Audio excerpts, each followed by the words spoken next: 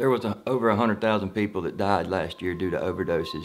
That many people should not be dying of overdoses. I mean, I'm so very tired of friends and acquaintances dying.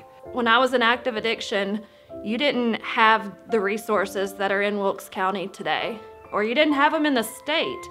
We didn't even talk about harm reduction. Harm reduction saves lives by giving access to clean supplies, as well as the life-saving drug Narcan. Well, with especially with harm reduction, you're meeting people truly where they are. People are realizing that when we meet people where they're at and show them unconditional love, that people are getting better. They've been a family to me, you know, more than just a place to go to. For me, this is a family. Harm reduction is the opposite of stigma. Harm reduction is, is hope, love.